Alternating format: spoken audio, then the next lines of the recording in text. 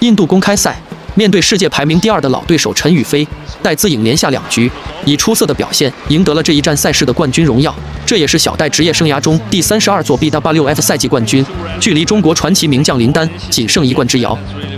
尽管小戴的年纪和身体状态难言巅峰，但从过去三站比赛的状态来看，他的实力表现仍然是今年巴黎奥运会的夺冠热门。自2023年年底的年终总决赛开始，马来西亚公开赛、印度公开赛，戴资颖全部闯入了决赛，并且获得了二金一银的完美战绩。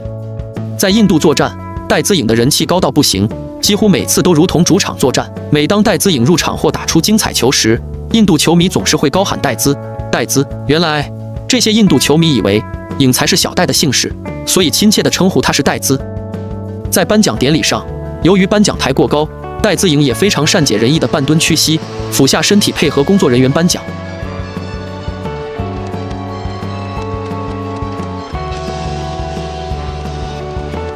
与陈宇飞交手多年，两人的关系也比较融洽，彼此祝福庆贺对手的表现。可能也正是小戴这种谦逊的品格，才会收获这么多印度球迷的喜爱。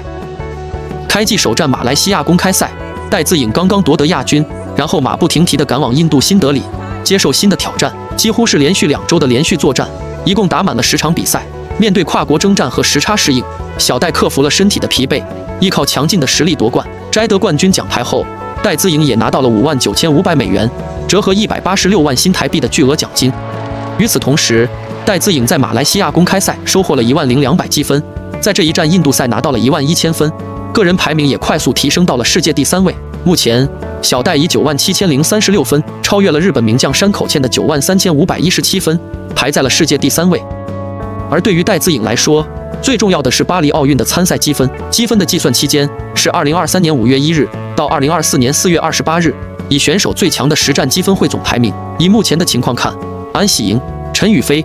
戴资颖和山口茜仍然是世界前四的顶流。接下来，小戴可能会结束亚洲区的赛程，暂时回到台湾休整，准备三月五日出战法国公开赛。